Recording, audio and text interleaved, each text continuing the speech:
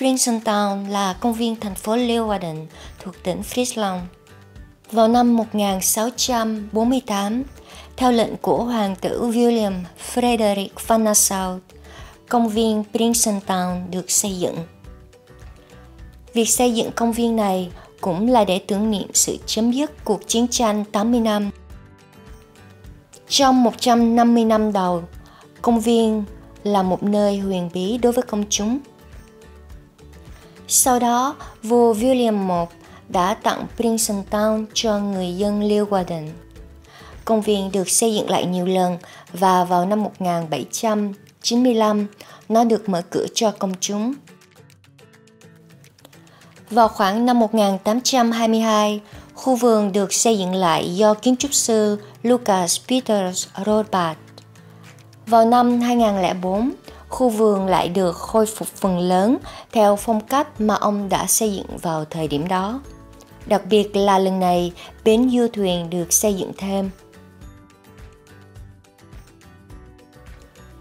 Vào khoảng năm 1989, Theo Dauma xây dựng thêm một nhà hàng ăn uống, hiện tại được gọi là The Coppertown, đặt tên theo cuốn tiểu thuyết của Simon Festdike. Nhà hàng chính thức khai trương do người vợ quá, Mick Festdijk. Bạn thấy rằng tàu thuyền ở đây lưu thông cũng như các phương tiện giao thông khác. Các cây cầu này mở đóng tự động hay có người điều khiển.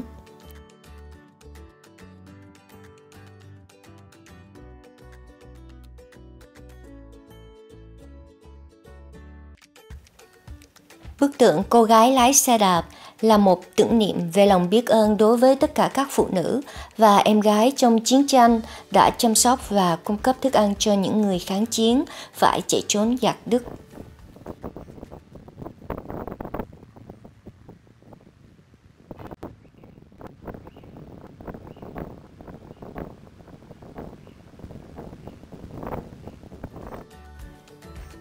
Ngày nay, Princeton là công viên của thành phố Leeuwarden một nơi tuyệt vời để đi bộ, dã ngoại, tắm nắng và hẹn hò.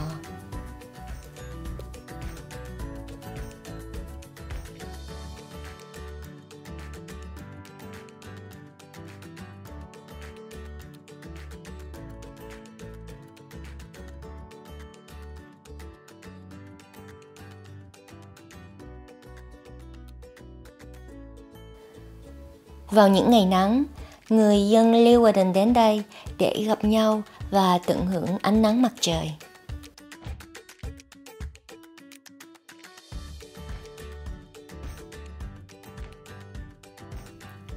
Bến du thuyền nằm trong công viên là một trong những bến du thuyền đẹp nhất Hà Lan. Princeton còn có một quán cà phê nhìn xuống hồ nước rất lãng mạn và một sân khấu dành để trình diễn âm nhạc vào mỗi chiều chủ nhật.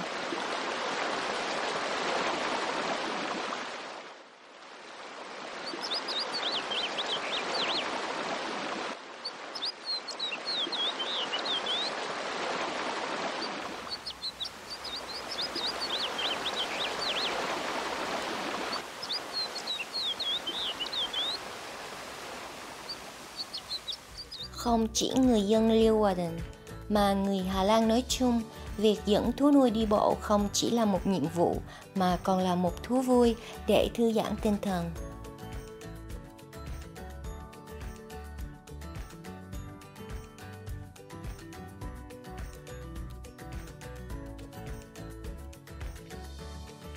Ngoài ra, Viện Bảo tàng Pierre Pender nằm sát cạnh công viên – Viện bảo tàng này mở cửa từ năm 1954. Đối với mình, đây thực sự là một công viên không những có lịch sử về văn hóa mà còn là nơi để mỗi người nảy sinh ra những ước mơ mới và nuôi dưỡng nó cho tương lai.